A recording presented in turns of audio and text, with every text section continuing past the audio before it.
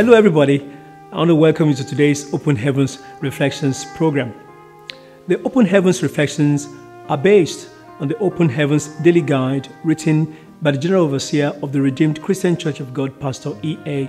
Adeboye. My name is Akinola Soroye, and by the grace of God, I pastor the Redeemed Christian Church of God Victory Center based in the southeast of London.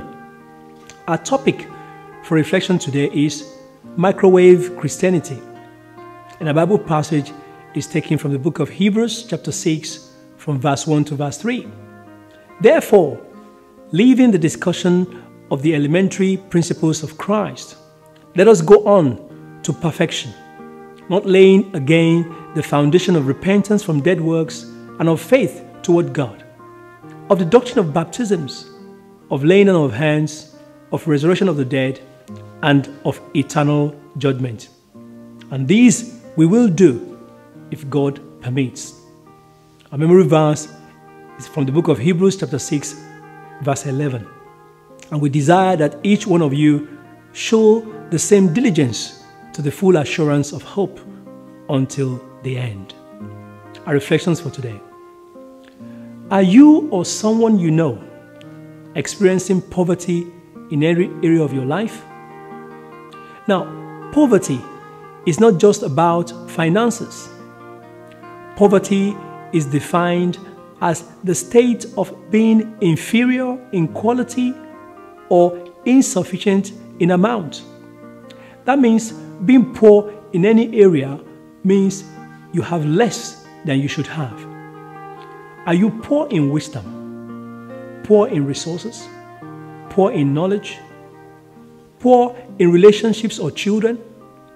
Whatever you have less of than you know God has, uh, has proposed for you, determine that with, with God's help, and you will get out of it in Jesus' name. Now, if the solution appears to be delayed, remember that you are precious to God and God has not forgotten you. Do not try to solve problems your own way. God knows you and He knows what to do at the right time. God cares about you and about every move that you want to make. He knows everything about you, even the number of hairs on your head, and He loves you very much. You're special. You've been created for a purpose.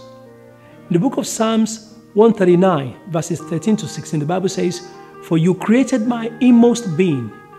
You knit me together, you knit me together in my mother's womb. I praise you because I'm fearfully and wonderfully made. Your works are wonderful. I know that full well.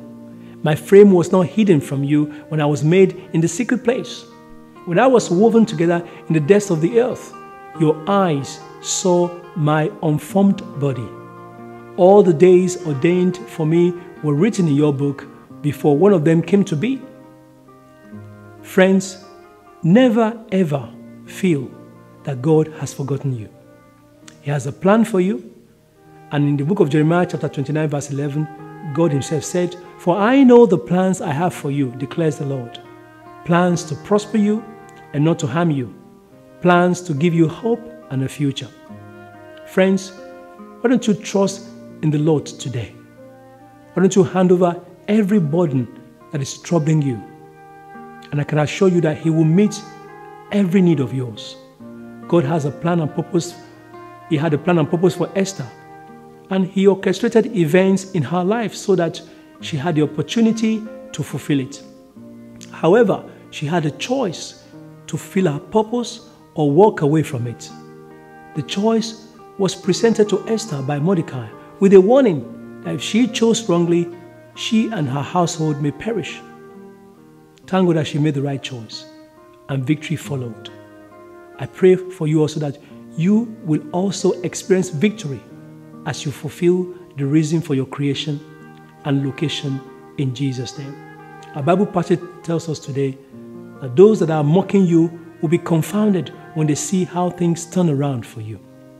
Psalm 113, verses 7 and 8 says, He raises the poor out of the dust and lifts the needy out of the harsh heap, that he may sit with the princes, with the princes of his people. Whatever kind of poverty that is holding you down, God will lift you out of it in Jesus' name. Nevertheless, you also need to be determined and trust in God. Our key point for today if we fail to diligently fight for the faith that was delivered to us, a time will come when all we, we have left will be those people that are fake. Thank you so much for watching with us today.